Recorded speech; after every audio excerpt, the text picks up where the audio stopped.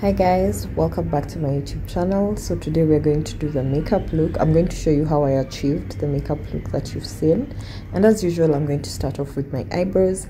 I like doing my eyebrows first because they frame the face and they give you like um, a structure that you can follow yes?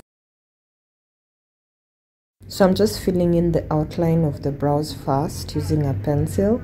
And then i'm going to fill in the interior of that outline properly um, using the same same pencil before I proceed to take an eyebrow wax and make sure that it is all sealed in and nicely done.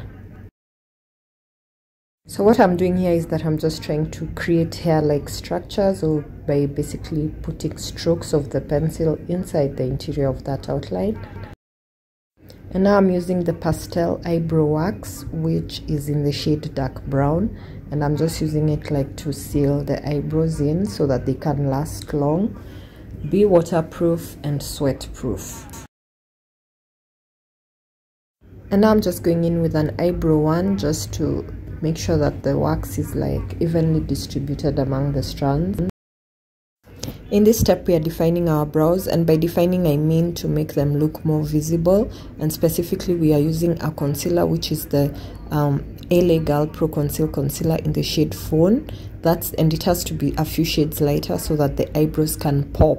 They can be more visible. You know, if the contrast between the light and the dark brows makes the basically makes the brows more visible, and that's what we are going for. I'm just blending that concealer properly so that at least it doesn't look very stark. Once we're done with the eyebrows, we're now going to prime our face and what I'm using is a Maybelline primer and I'm just applying it mostly in my T-zone, like the oily areas of my skin because oil tends to make the makeup come off. So you want to apply on your T-zone and the oily areas of your face or you can just apply all over your face if you have an oily face in general. And i'm just applying concentrating on my t-zone. Yeah just using a finger basically. Now we're going to take a concealer and i'm going to use this concealer as an eyeshadow primer. And uh, i'm just using a brush to tap it in. Uh, basically the purpose of an eyeshadow primer is to make your eyeshadow last longer and also to make it more visible so now i'm just going to take a dark green shade out of uh, the palette that i recently got from asos which is the i heart revolution turkish delight palette. And i'm just applying it all around the eyelid. I want to create a halo effect. And i've taken a lighter shade of green. Uh, it's sort of like a shimmer shade. So i'm applying it in the center of the eyelid only. Because as i said i want to create like a halo effect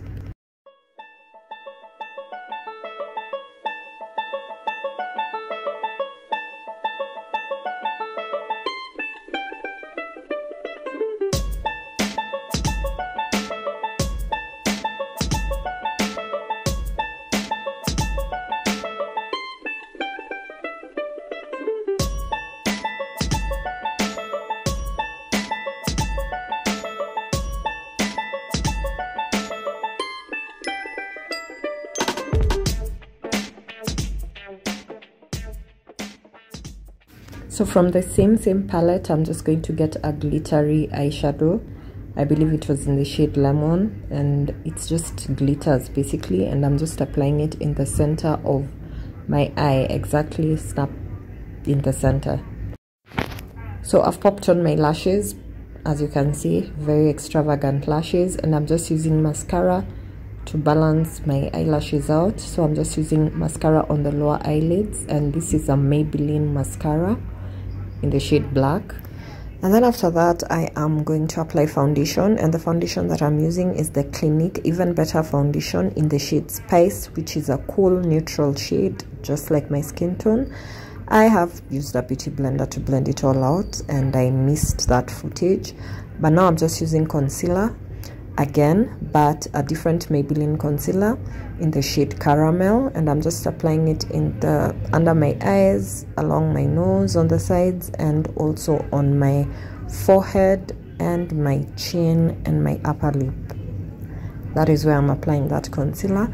And then I'm just going in with a highlighter. This is the NYX contour stick highlighter and I'm just applying it like on the sides and along the bridge of my nose then I proceeded to blend it all out with a flat brush before I go in with a beauty blender. Make sure after you've used the flat brush that you go in with a beauty blender because it will create a smoother finish.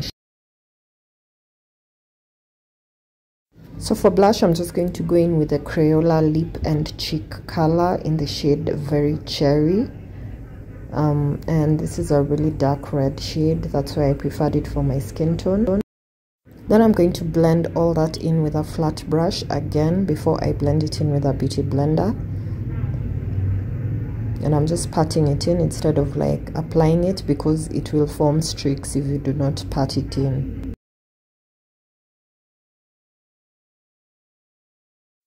So I'm not just going to apply lightly apply for um, powder and I'm just using the Sacha Buttercup setting powder so I'm just applying it in the areas that I applied concealer so that it can set. Also to brighten those areas. While that is setting I am going to do my lips and I'm just going to use a black lip liner and I'm going to apply it all along the the lips basically to define the lips